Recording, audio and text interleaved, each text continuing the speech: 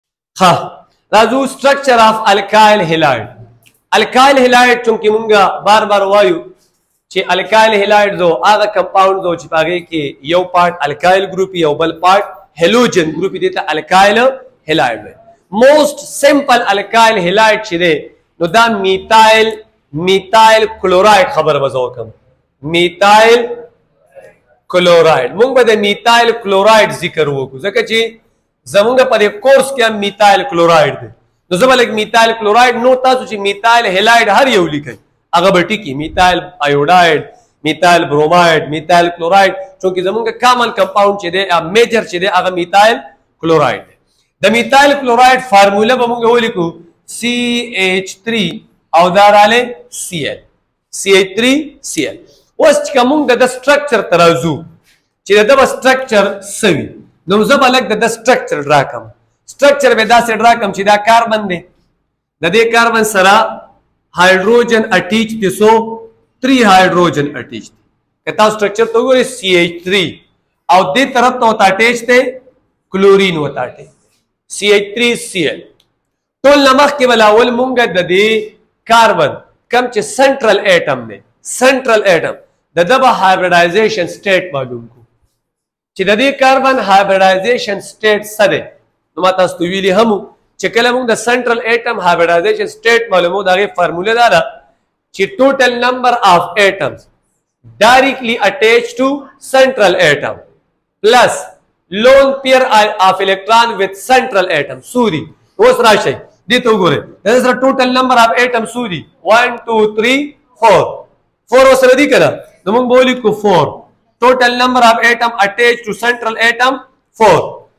د کاربن سره لون پیر الکترون نشته د کاربن په اخیری شل کې چار الکترون دي او سلور باند چې کم دی هغه دی کاربن جوړ کړی دي have no no lone pair electron نو lone pair electron څو شو هغه زیرو شو نو ټوټل سره له 4 راغله د 4 مطلب دای چې پدې کې یو s ته یو اس ته او 3 پکې پی دي نو دا براشي اس پی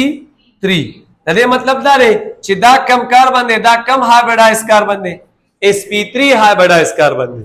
د دې کاربن هایبریډایزیشن سټیټ سره اس پی 3 دی دې څه پورته سو کلیئر دی و سټرکچر ترازی اخیری پوینټ ته دا د سنټرل اټم کاربن ایچ کاربن هیو فور ایس پی تھری هایبریډ اربیټال دا چونکه د هایبریډایزیشن سټیټ ایس پی تھری دی کنه نو د کاربن سره فور ایس پی تھری هایبریډ اربیټالز دي فور ګور دا کم کم دي یو نمبر 1 یو ایس پی تھری دا شو پرمانه ټیک دی یو ایس پی تھری دا دی یو ایس پی تھری دا دی او یو ایس پی تھری دا دی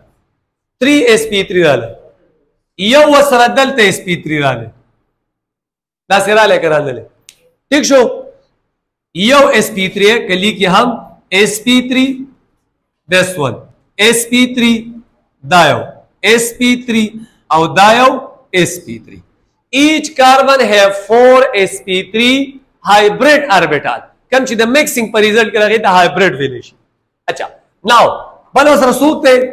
هایدروجن ها په هر یو sp3 کې 100 الکترون دي یو یو الکترون نه کنه هاف فیلډ نه کنه دی هاف فیلډ چار الکترون دي د کاربن سره کنه خبیا سو شي یو یو سره هایدروجن اٹیچ نه کنه دی نو یو هایدروجن بدل تر شي دا بل هایدروجن دلته او بل هایدروجن دلته د هایدروجن اس اربیټال نه کنه دی اس ته کنه اس داس او د هایدروجن سره هم یو الکترون دی کنه ده داس یو الکترون یو او دلته یو الکترون باقي څوک پاتې شو کلورین د کلورین سره چې کم هاف فیلډ الکترون دی هغه په کم اربیټال کې دی اپ پی اربیټال کې دی کومګه د الکترونیک کنفیګریشن وو د کلورین ټوټل 17 دی ویلنس الکترون کې سری پای کې پی 5 ته پی 5 نو پی چې ده دا 3 دی پی ایکس پی وای پی زد نو په دوو کې 2 2 او په یو کې 1 نو هغه هاف پیډ شو نو موږ وایو چې پی اربیټال اف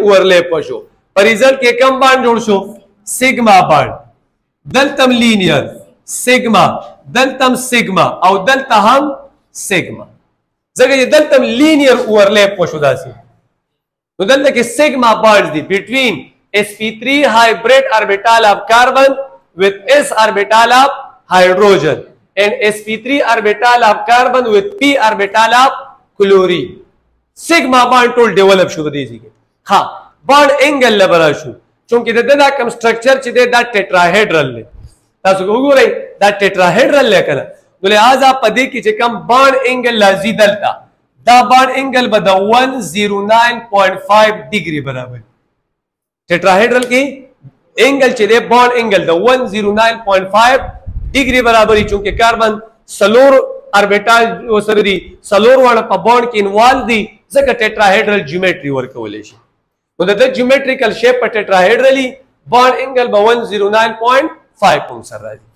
نو دا زموږ سره دا الکایل هلایډ سټرکچر چې هغه ډول اوس